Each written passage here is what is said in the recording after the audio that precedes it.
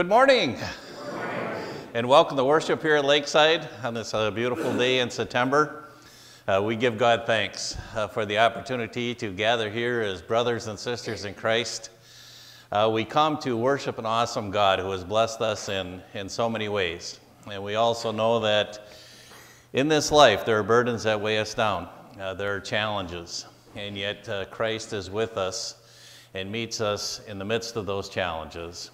And we know that Christ is here today with us to refresh us, to renew us, so that we may leave this place with a joy in our heart, a bounce in our step, and ready to serve God in all that we do uh, in our communities and in the world in which we live. Uh, just a few announcements this morning.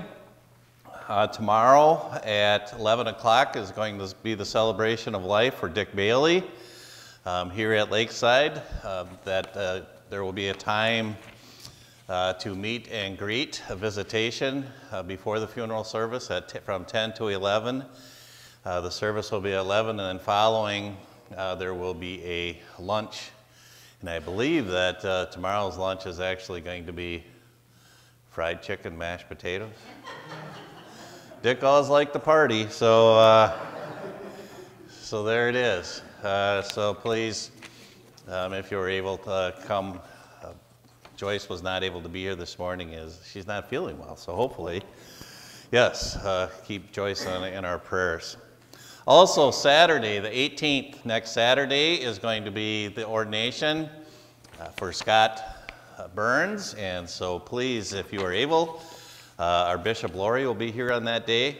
And it's, a, it's an exciting day at 2 o'clock uh, here at Lakeside is Scott has been called uh, to uh, Ridgeland Lutheran in Ridgeland, Wisconsin as their pastor. And so it's going to be an exciting day of one of our own to be ordained. Sandy.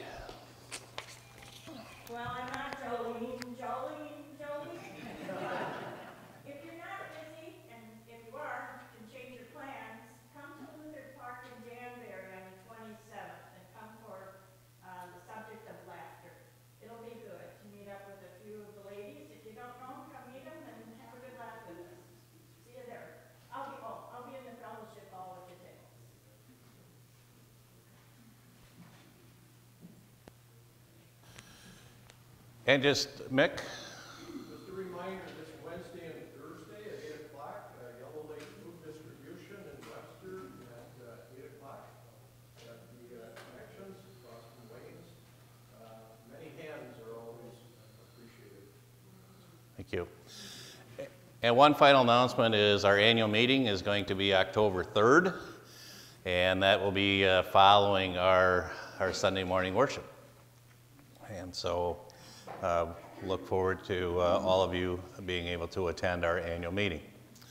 And at this time, uh, Julie, please prepare us with the prayer.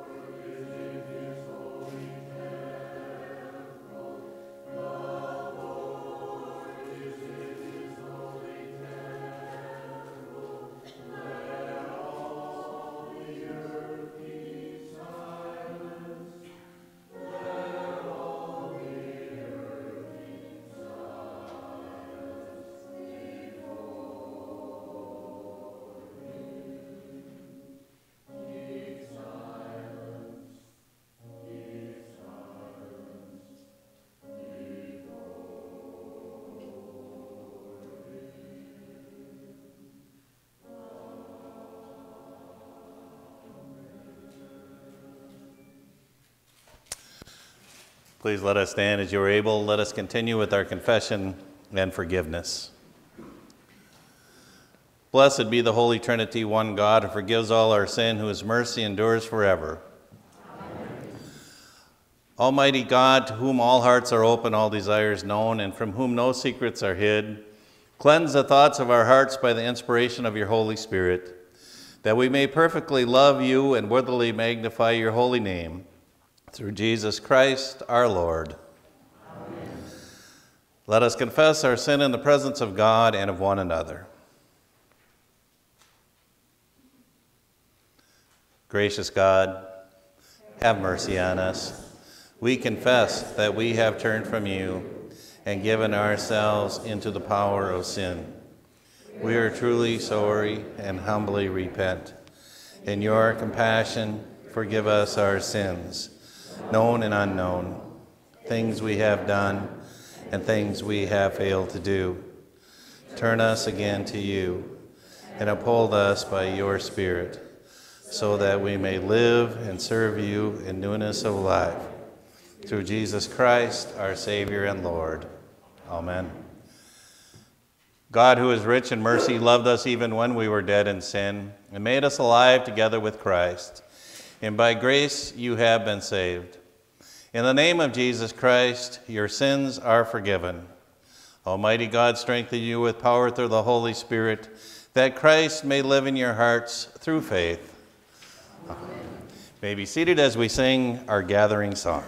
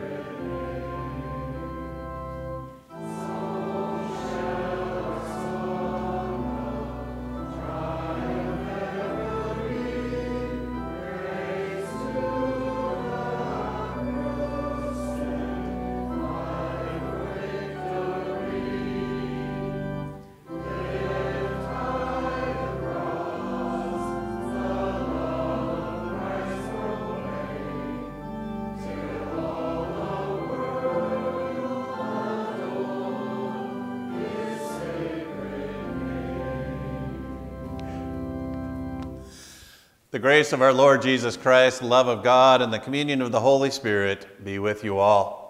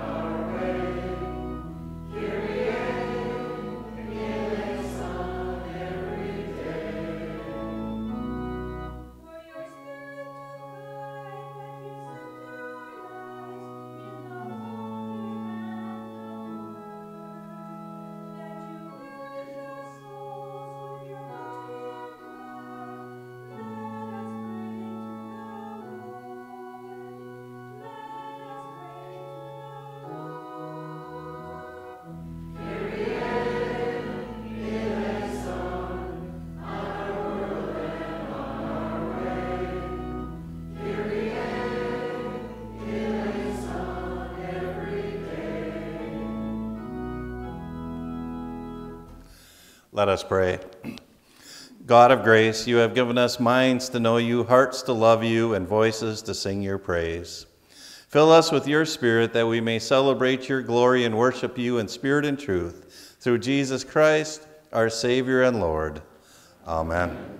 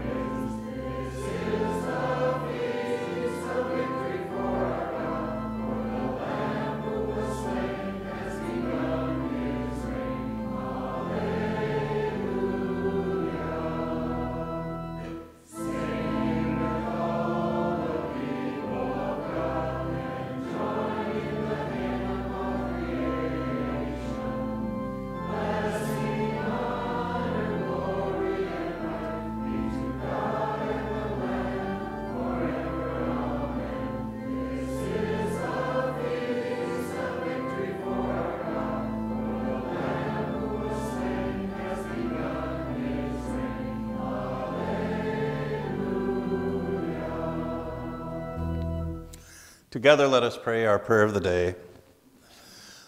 O God, through suffering and rejection, you bring forth our salvation, and by the glory of the cross, you transform our lives. Grant that for the sake of the gospel, we may turn from the lure of evil, take up our cross, and follow your Son, Jesus Christ, our Savior and Lord.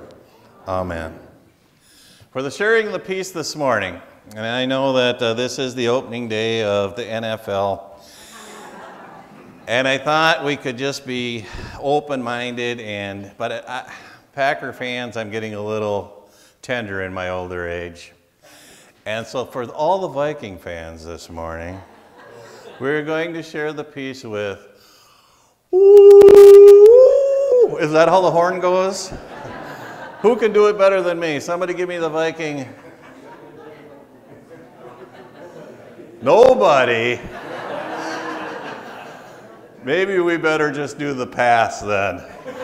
The peace of the Lord be with you all.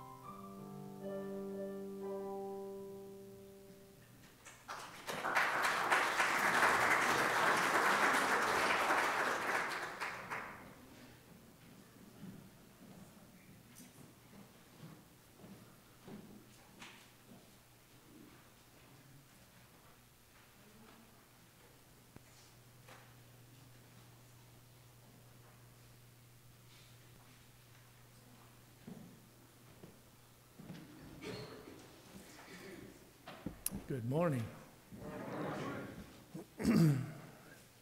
Our first reading this morning is from Isaiah. The image of the servant of the Lord is one of the mo- notable motifs in the book of Isaiah. Today's reading describes the mission of the servant, whom early Christians associated with Jesus. Like Jesus, the servant does not strike back at his detractors, but trusts in the steadfast love of God. We read from Isaiah chapter 50, verses 4 through 9a. The Lord God has given me the tongue of a teacher, that I may know how to sustain the weary with the word.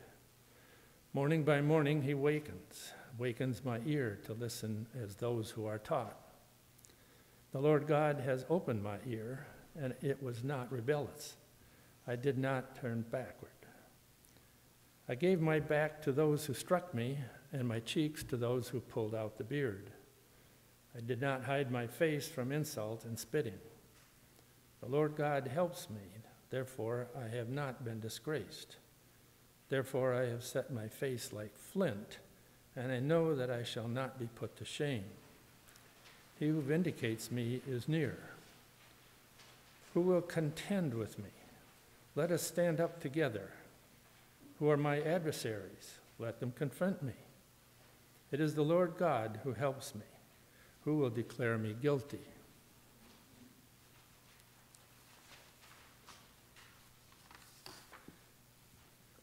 Our psalm today is Psalm 116. We'll read verses 1 through 9 responsively. I love the Lord who has heard my voice and listened to my supplication. Lord has given me ears to hear, The cords of death entangle me. The anguish of the grave came upon me. I came to fear and sorrow.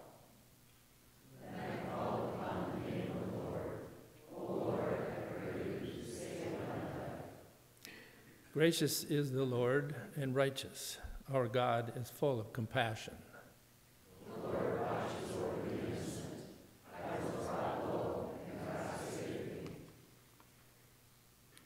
Turn again to your rest, O my soul, for the Lord has dealt well with you.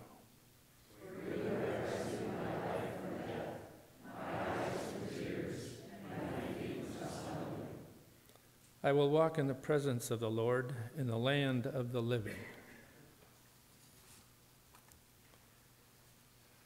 Our second reading this morning comes from James. This text uses various images to illustrate how damaging and hurtful the way we speak to and about others can be. Not only are we to control our speech, but what we say and how we say it are to reflect our faith. We read from James chapter 3, verses 1 through 12. Not many of you should become teachers, my brothers and sisters, for you know that we who teach will be judged with greater strictness. For all of us make many mistakes. Anyone who makes no mistakes in speaking is perfect, able to keep the whole body in check with a bridle. If we put bits into the mouths of horses to make them obey us, we guide their whole bodies. Or look at ships. Though they are so large that it takes strong winds to drive them, yet they are guided by a very small rudder wherever the will of the pilot directs. So also the tongue is a small member, yet it boasts of great exploits. How great a forest is set ablaze by a small fire. And the tongue is a fire. The tongue is placed among our members as a world of iniquity. It stains the whole body, sets on fire the cycle of nature, and is itself set on fire by hell. For every species of beast and bird, of reptile and sea creature, can be tamed, and has been tamed by the human species. But no one can tame the tongue, a restless evil full of deadly poison. With it we bless the Lord and Father, and with it we curse those whom are made in the likeness of God. From the same mouth come blessing and cursing. My brothers and sisters, this ought not to be so. Does a spring pour forth from the same opening both fresh and brackish water? Can a fig tree, my brothers and sisters, yield olives or a grapevine figs? No more can salt water yield fresh. This is the word of the Lord. Hallelujah,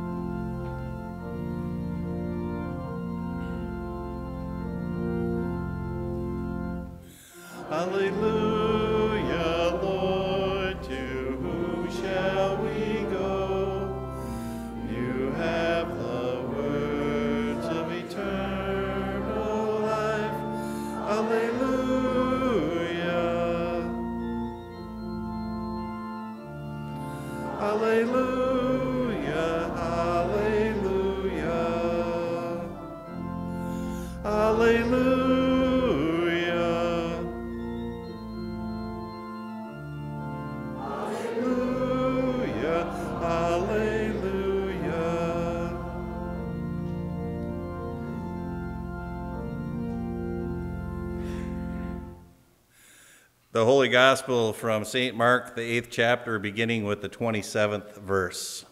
Glory to you, O Lord. This story provides the turning point in Mark's Gospel. Peter is the first human being in the narrative to acknowledge Jesus is the Messiah. But he cannot accept that as the Messiah, Jesus will have to suffer. Moreover, Jesus issues a strong challenge to all by connecting discipleship and the cross. Jesus went on with his disciples to the villages of Caesarea Philippi, and on the way he asked his disciples, Who do the people say that I am? And they answered him, John the Baptist, and others Elijah, and still others one of the prophets. He asked them, But who do you say that I am? Peter answered him, You are the Messiah. And he sternly ordered them not to tell anyone about him. Then he began to teach them that the Son of Man must undergo great suffering and be rejected by the elders, the chief priests, and the scribes, and be killed, and after three days rise again. He said all this quite openly. And Peter took him aside and began to rebuke him.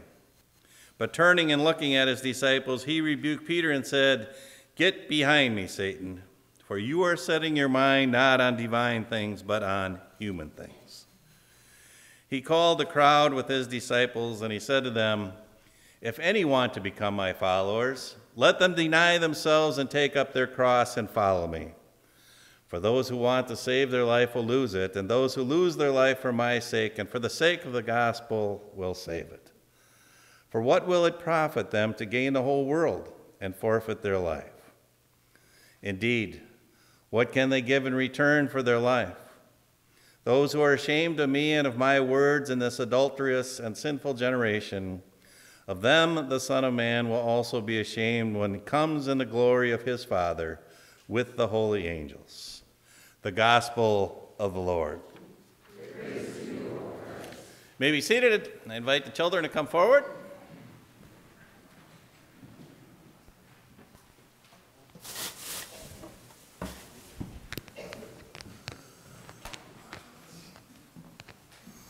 Hi, Noel. Boy, you get bonus points today, huh, Charlie? Ah. do you like the Packers? Well, you know what I have on here today? I have a, this is a pretty fancy cross, isn't it? And it was actually, it was at my ordination uh, many years ago. And I tried to find whoever left it there, and I never able, was able to find who left this cross. And so I just sort of finally one day said, it must have been a gift to me. But when I think about the cross, why do we, why do we think about a cross? Hmm, in the church. What's so special about a cross? You know what? You know why? We always remember because that's where, guess who died on the cross? Jesus. Yeah, I know. They nailed him to a cross. And so if we look around this morning, just look once. Let's go for a little, we'll go for a walk over here and look it up there. What do we have? That's fish. Yep.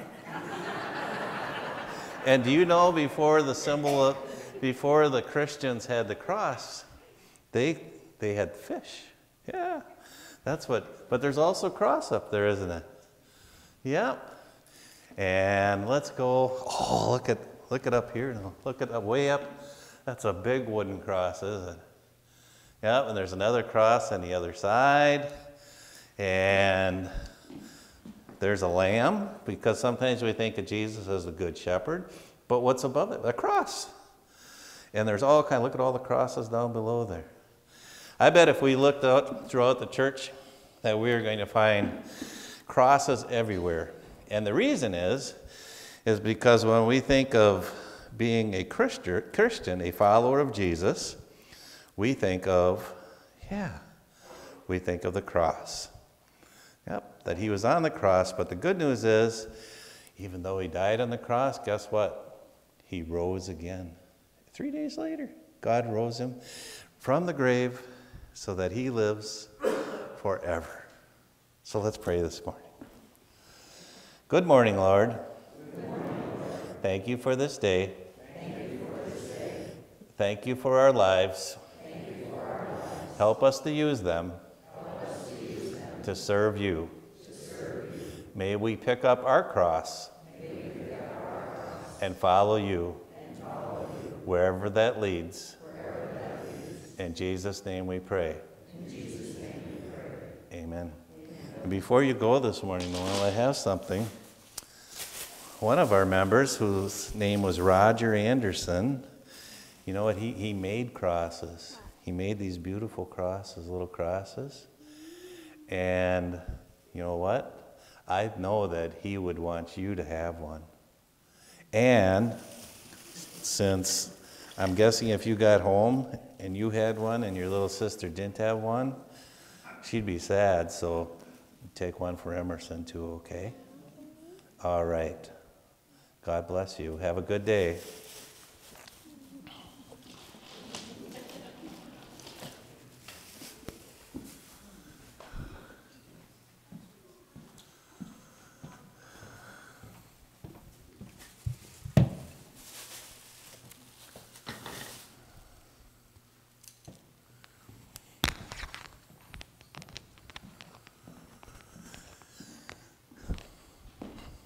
Grace to you and peace from God the Father and our Lord and Savior Jesus the Christ. Amen. We reach a transition in Mark's Gospel as once again we are uh, told of the story where Jesus is having a conversation with his, his group of 12. And he begins to ask them, he said, You know, what's the, what's the word on the street? Uh, who do the people say that I am?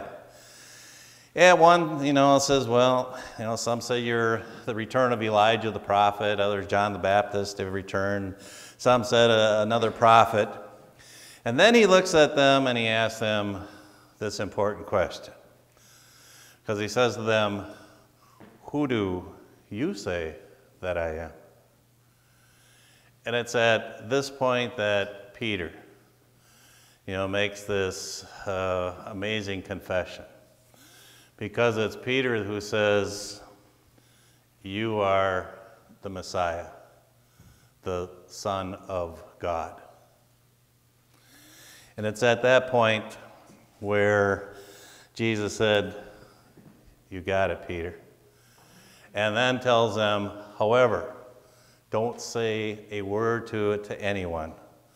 Be quiet, right? Be quiet.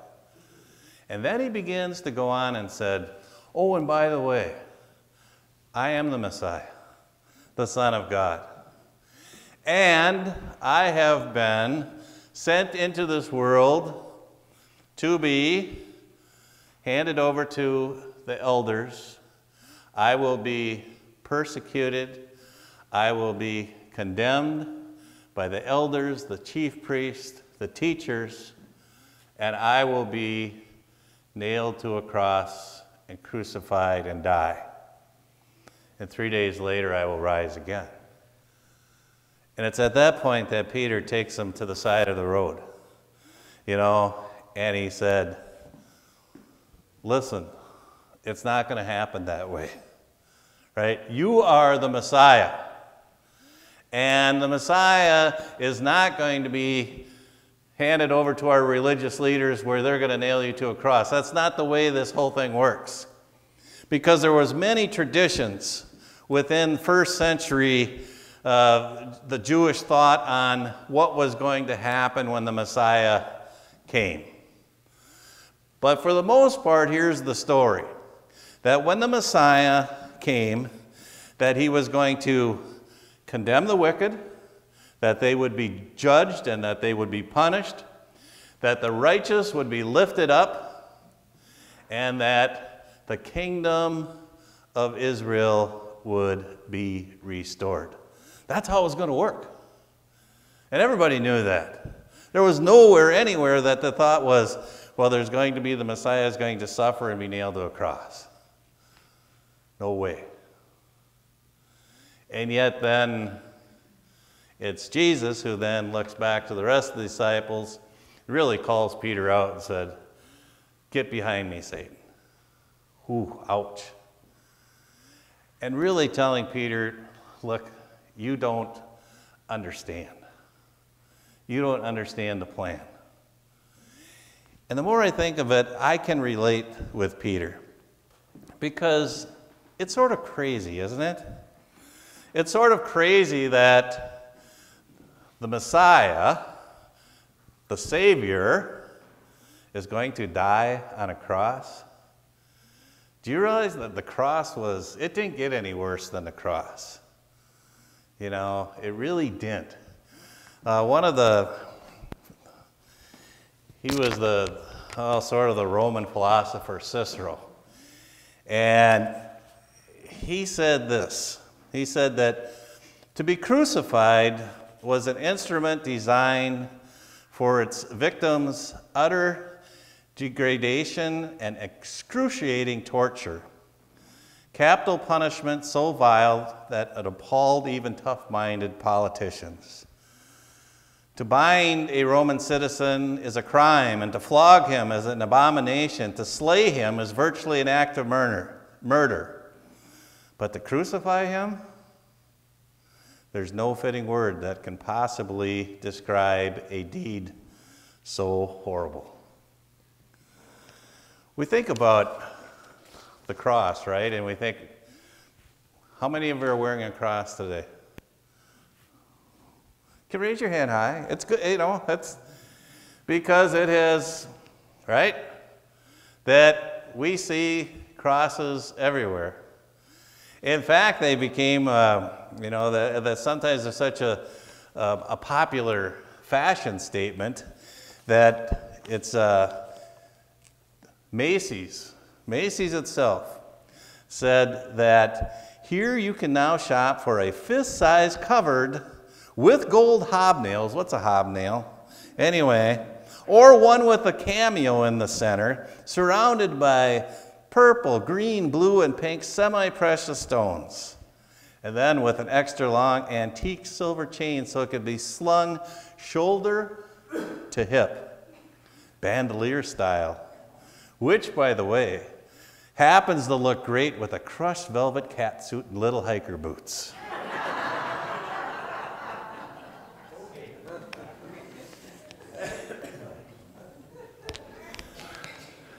You get the picture?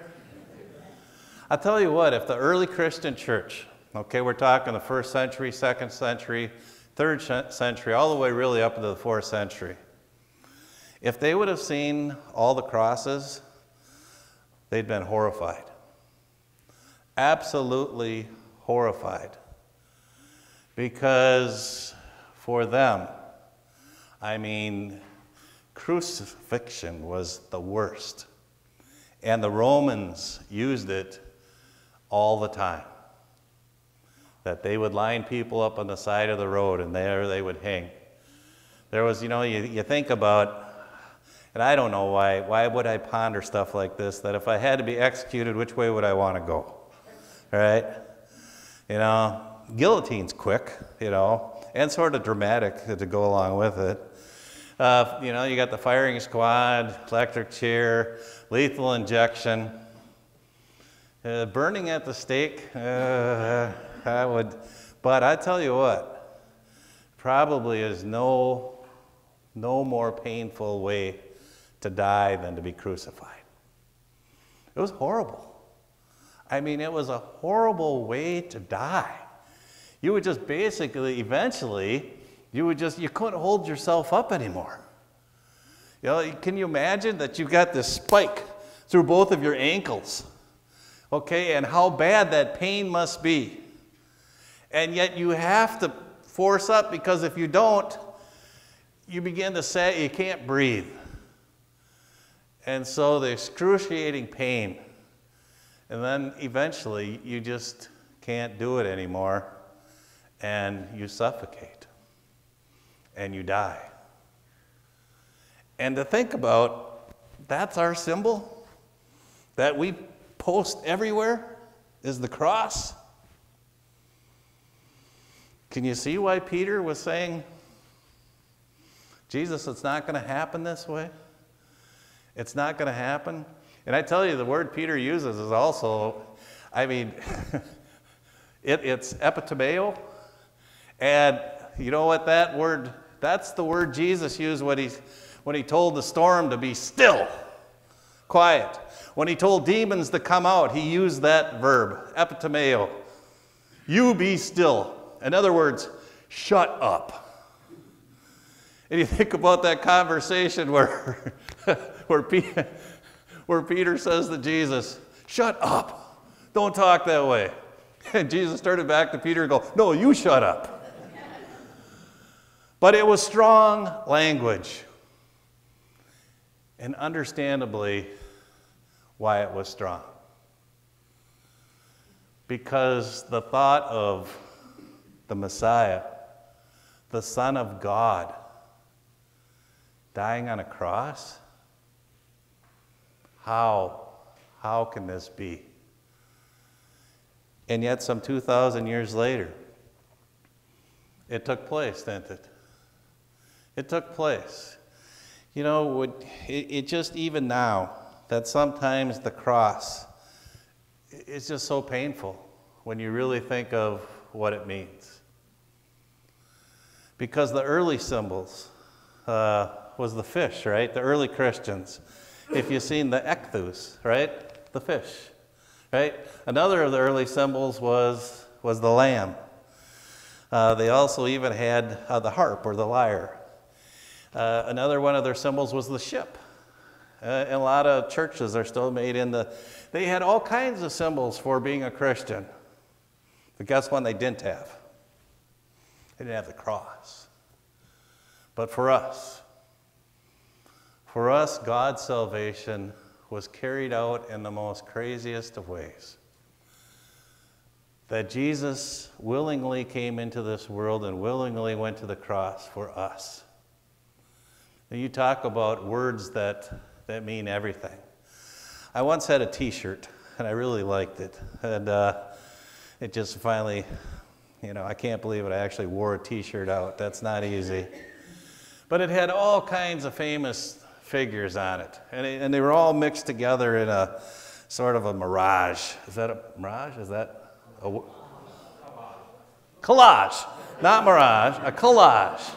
You know, I'm a farm boy. And so, you know, any word that has more than seven letters, it's a, it, it's a collage. And so you couldn't really, but, you know, there was like Martin Luther King Jr. That, but, and I forget what the front said.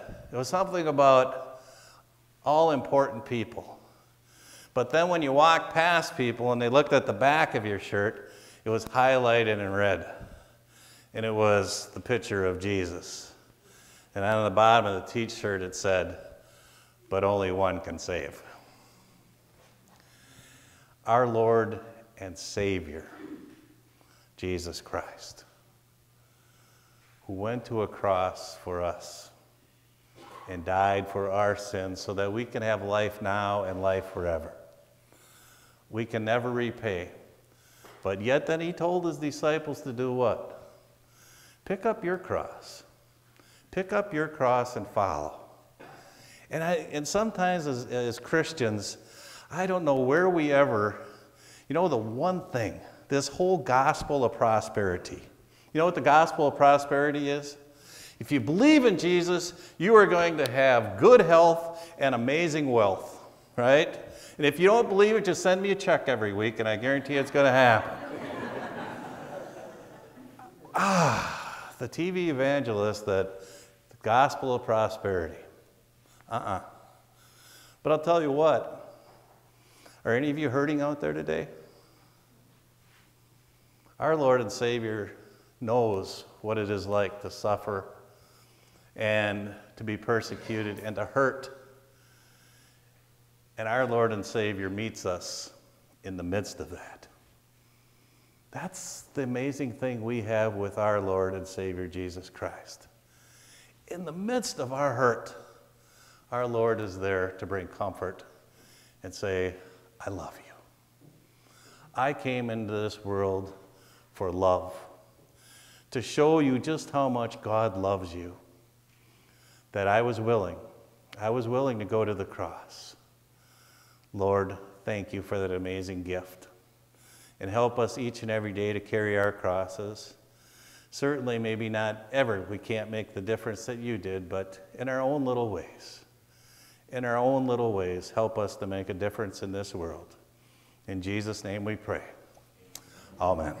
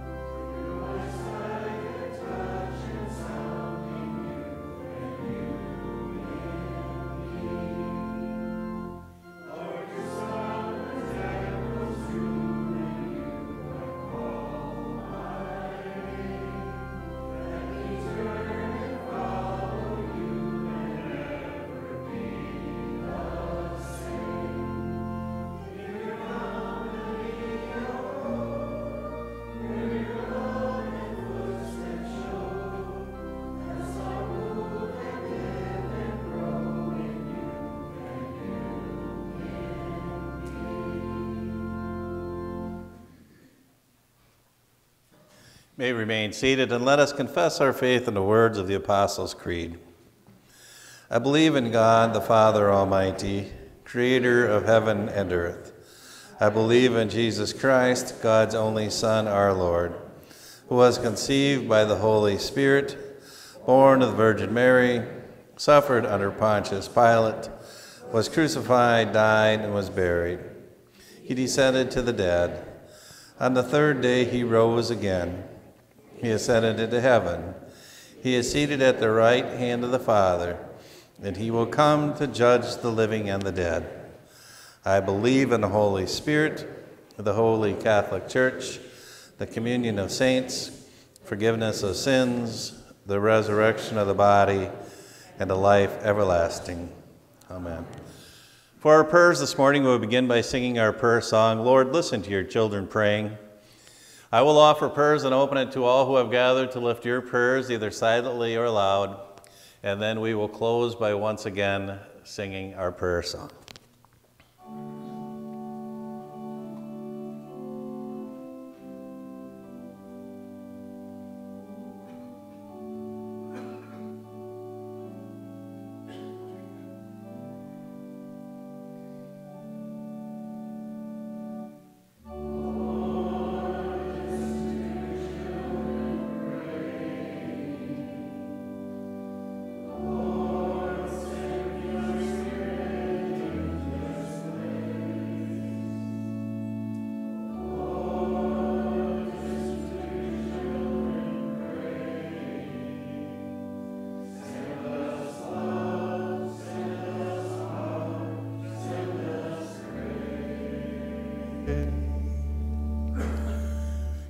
Gracious Lord, we are made children and heirs of God's promise, and we pray for the church, the world, and all in need.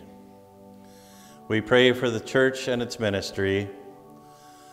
Bless the newly baptized and encourage them in their journey of faith. Sustain all members of the body of Christ in lives of prayer, service, and worship.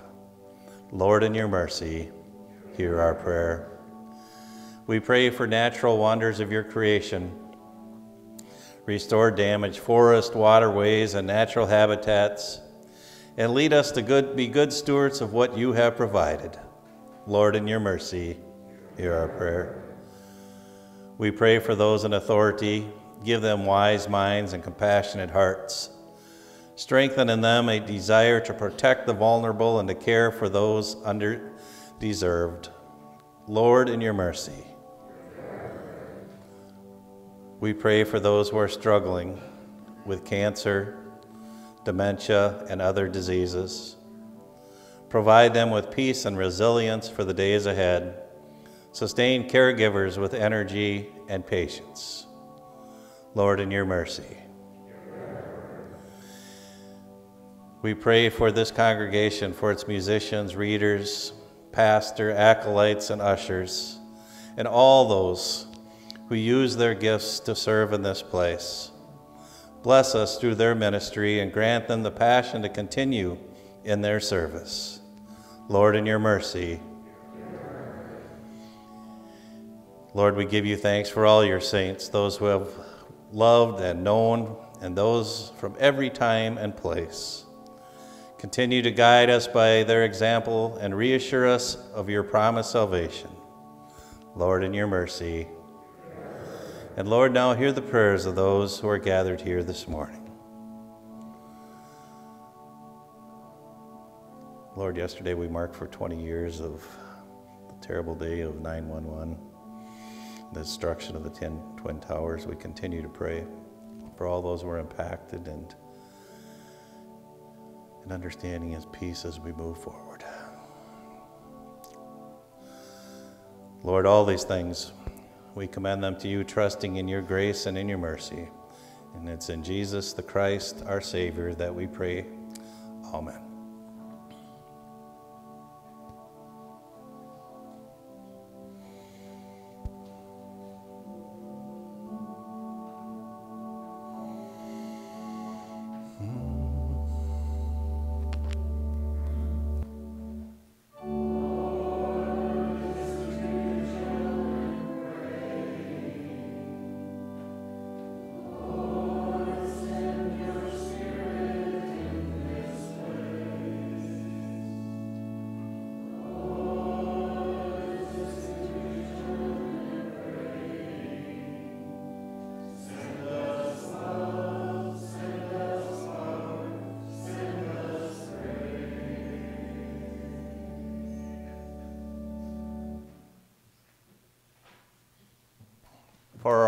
Once again, we'll have a basket behind uh, the baptismal font uh, where if you have brought an offering with you this morning, you may place it there. And we give you thanks for your gracious and generous support uh, that continues to support the ministry here at Lakeside, this community, this nation, and the world in which we live. Let us pray. God of all creation, all you have made is good and your love endures forever. You bring forth bread from the earth and fruit from the vine. Nourish us with these gifts, that we might be for the world signs of your gracious presence. In Jesus Christ, our Savior and Lord. Amen. Together let us pray our Lord's Prayer. Our Father, who art in heaven, hallowed be thy name. Thy kingdom come, thy will be done on earth as it is in heaven. Give us this day our daily bread, and forgive us our trespasses, as we forgive those who trespass against us. And lead us not into temptation, but deliver us from evil. For thine is the kingdom, and the power, and the glory, forever and ever. Amen. Let us sing our sending song, Lead On, O King Eternal.